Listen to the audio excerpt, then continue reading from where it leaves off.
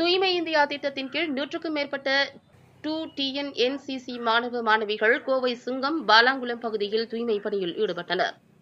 நகர மற்றும் கிராமங்களின் சுற்றுப்புறத்தை தூய்மையாக வைத்தல் போன்ற குறிக்கோள்களை மையமாக வைத்து கடந்த இரண்டாயிரத்து பதினான்காம் ஆண்டு அக்டோபர் இரண்டாம் தேதியன்று பிரதமர் மோடியால் துவங்கப்பட்ட திட்டம்தான் தூய்மை இந்தியா திட்டம்.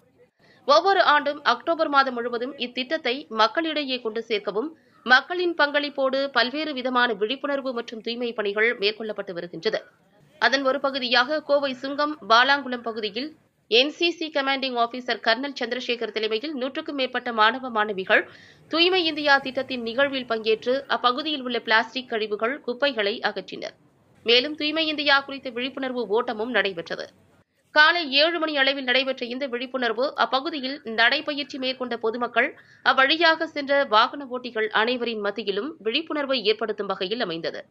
இந்த நிகழ்ச்சியில் தேசிய மாணவர் படை அலுவலர்கள் என பலர் கலந்து கொண்டனர்.